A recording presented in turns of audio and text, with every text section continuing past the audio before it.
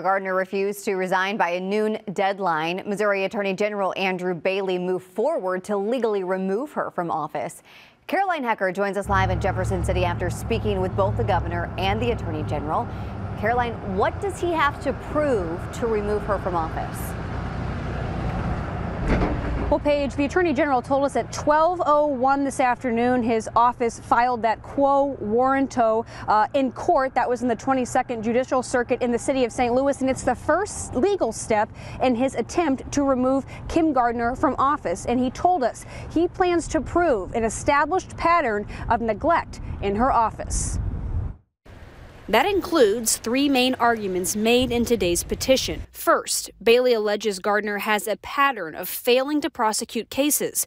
Those are cases she's charged but allowed to sit and resulted in dismissals or failure to prosecute. Second, he says she has failed to inform victims of criminal case procedures, something she has a constitutional, statutory, and moral obligation to do. He says Gardner is failing to charge new cases police refer to her. All three allegations, Bailey says, will prove she's neglected her role as circuit attorney.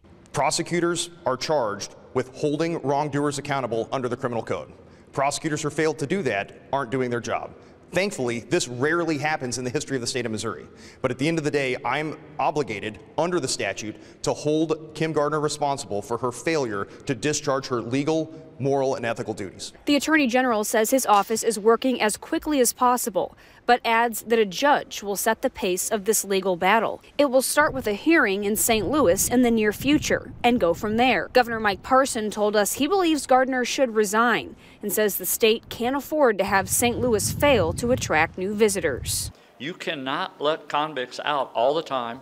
You can't do people that are bad people and let them out on the streets all the time and expect them to do anything differently when there is no accountability for them or the courts or the prosecutors.